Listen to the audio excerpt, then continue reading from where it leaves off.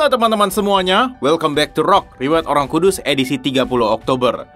Hari ini kita akan membahas riwayat Santo Marcellus dari Tingis, martir dan pelindung Leon.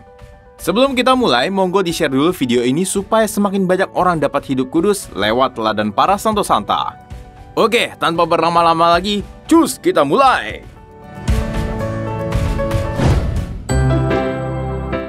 Cerita bermula pada pertengahan abad ketiga, hiduplah seorang perwira Romawi atau bisa disebut juga centurion bernama Marcellus. Ia bertugas di daerah Galesia, sebuah provinsi di Spanyol dan mengepalai lebih dari 100 prajurit. Di masa ini, Kristen masih menjadi agama yang dilarang di Kekaisaran Romawi. Walau demikian, Marcellus dan keluarganya ternyata diam-diam mengikuti jalan Kristus, guys. Nah, suatu hari, tibalah hari ulang tahun dari Kaisar Maximianus, kaisar yang menjabat pada waktu itu.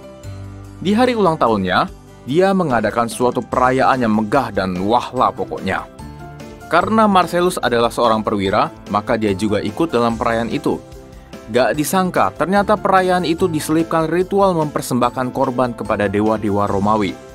Dan pada giliran Marcellus, ia lalu menolak untuk mempersembahkan kurban-kurban berhala itu.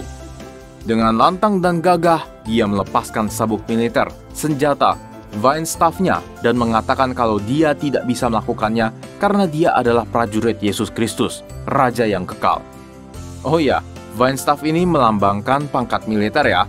Mungkin kalau zaman sekarang ya seperti yang ada di pundak prajurit TNI. Nah, tindakan nekatnya ini membawanya langsung kepada pengadilan yang dipimpin seorang hakim bernama Anastasius Fortunatus.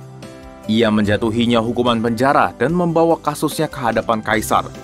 Tapi akhirnya ia justru dihadapkan kepada seorang pejabat bernama Aurelian Agricolaus di Tingis yang sekarang sudah bernama Tangier, Maroko. Agricolaus kemudian bertanya apakah Marcellus benar-benar seorang Kristen. Marcellus lalu menjawab tanpa rasa takut sedikit pun. Ya, saya seorang Kristen dan tidak ada yang akan mendorong saya untuk meninggalkan Kristus. Jawaban berani ini membuatnya dihukum mati dengan cara ditebas dengan pedang. Marcellus sang centurion wafat sebagai martir di tahun 298. Hal yang menarik adalah ketika mendengar kasus ini, sekretaris dari Agricolaus menolak untuk mencatat hukuman mati kepada Marcellus. Ia membuang alat tulisnya dan menyatakan kalau hukuman itu tidak adil. Sekretaris Kristen pemberani ini kemudian ikut dijebloskan ke penjara dan menerima juga mahkota kemartirannya dengan nama Santo Cassianus dari Tangier.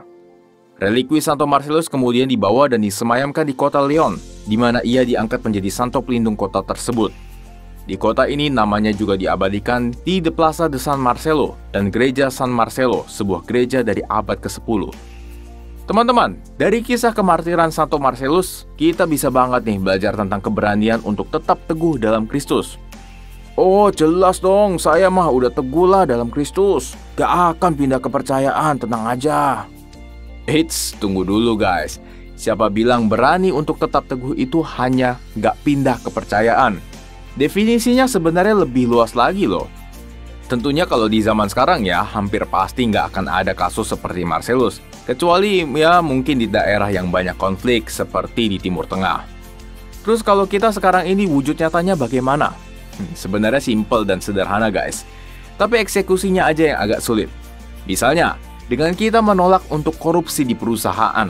Atau juga contoh lainnya nih, kalau anak-anak muda ataupun orang dewasa menolak untuk berdosa percabulan, menolak untuk menonton video porno, menolak untuk masturbasi, kontrasepsi, aborsi, pergaulan bebas, dan lain-lain. Keberanian untuk menolak hal-hal inilah yang bisa kita lakukan di zaman ini. Lagian coba kita bayangkan di posisi Santo Marcellus. Apakah kita benar-benar bisa untuk tetap berani menolak berhala Romawi? Kalau menolak dosa-dosa yang disebutkan barusan aja kita masih cincai-cincayan. Nah, semoga kita bisa semakin berani ya guys menolak godaan-godaan untuk berbuat dosa, seperti yang sudah Santo Marcellus lakukan. Oke guys, begitulah kisah hidup dari Santo Marcellus. Semoga bermanfaat ya. Terima kasih sudah menonton dan sampai jumpa di Rock edisi selanjutnya. Pamit, Re!